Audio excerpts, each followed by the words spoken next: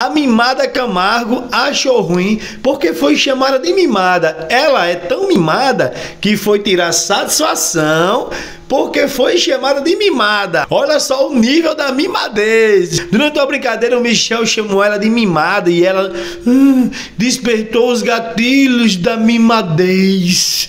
Que ela não é mimada, que isso já pegava mal para ela fora do jogo. Porque assim, para ela, ela é sustentada pelo pai, se chama ela de mimada. Que na verdade esse negócio de ela tem dinheiro, ela não tem, ela tem dinheiro, ela não tem.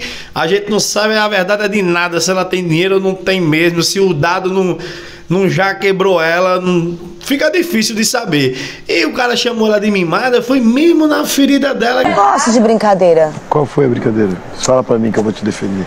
Eu brinquei ali, sentei, eu ia fazer a regra que todo mundo falou. Brinquei, sentei no chão.